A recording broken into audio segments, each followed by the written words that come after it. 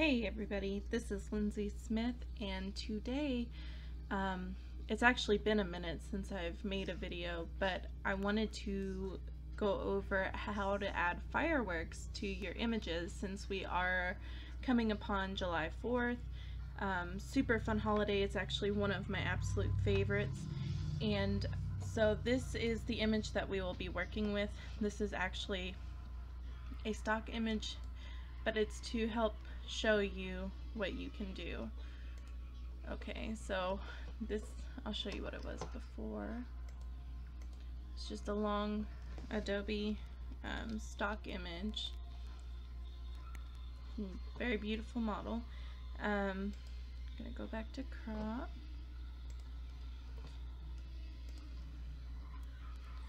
And I'm going to select the background here because it's a little you know bright. So we are going to color range. We are going it might select her a little bit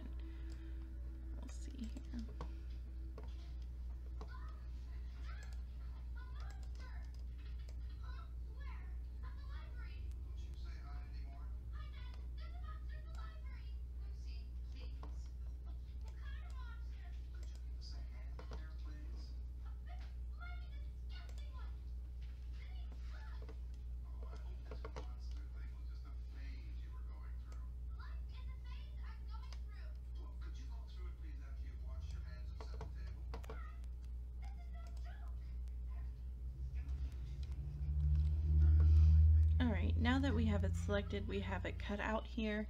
Um, we are going to make our own sky. So let's see here. Gradient.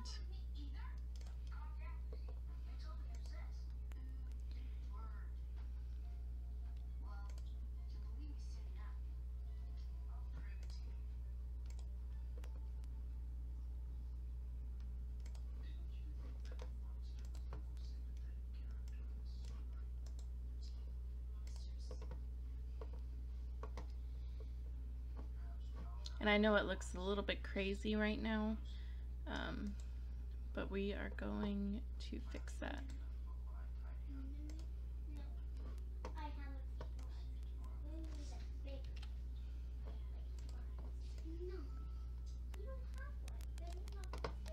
Now this is a little different from the image that I did because I did blue and yellow. This time I'm using purple and orange but it's the same principle. We're going to come over here to the vector mask and we're going to grab our black soft brush and I am going to change this blending layer.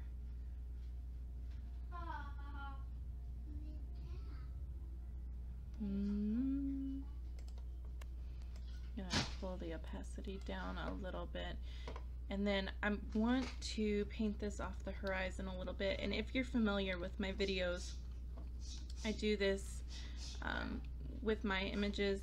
I take the opacity down to about 20 or 30% on my brush and I have the hardness turned off and I just want to um, take it away from her. Now the image is still really bright too bright really for fireworks, but we are going to fix that. You can either use the actions that are included to make your image darker. I'm going to play with the hand edits a little bit. Let's see here if she has, she has a little more hair, but for the video's sake, we'll turn the opacity down. Storm! Sorry, my husky is going nuts. Okay, so opacity is down to 66. I think I like this. Um, again, you can darken your image with the action.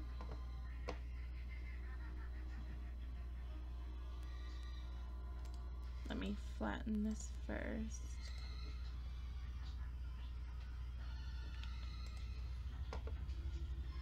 And then you can paint it off of her a little bit because that's what makes, you know, the fireworks pop. I'm going to turn down my opacity to about 50 and with a soft black brush I'm just going to take it off her. I'm going to go a little more, take it off of her. You can do it that way or um, I also like to go to my exposure and I turn up my gamma because then the tint, the color is still saturated. Everything still looks gorgeous. Um, the other way works too and it's super simple. And again you would just paint it off of her and then come in here and just kind of paint it off wherever you want to. And again my brush is at 50 but you can turn it to wherever you like. Um, and then if I had a little bit more time in this video, I would probably, where the sun was coming in on her hair here, you could probably clone some of her hair that is over here and make it look, you know, like it is a little more like a sundown. But this is to place the fireworks. Now there is one of two ways. You can use the actions, but if you're a little more familiar, you can go to File and then Place Linked or Embedded, and then find where your fireworks are saved um, or you can use the actions, place my fireworks, and then again, you would just find, um, let's try some different ones that I didn't use.